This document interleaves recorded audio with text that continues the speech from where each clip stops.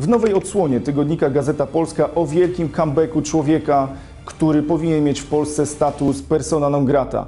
Andrzej Persona Kononienko, kontrowersyjny biznesmen, którego nazwisko podczas tajnego posiedzenia Sejmu w 2003 roku wymienił ówczesny szef Agencji Bezpieczeństwa Wewnętrznego Andrzej Barcikowski.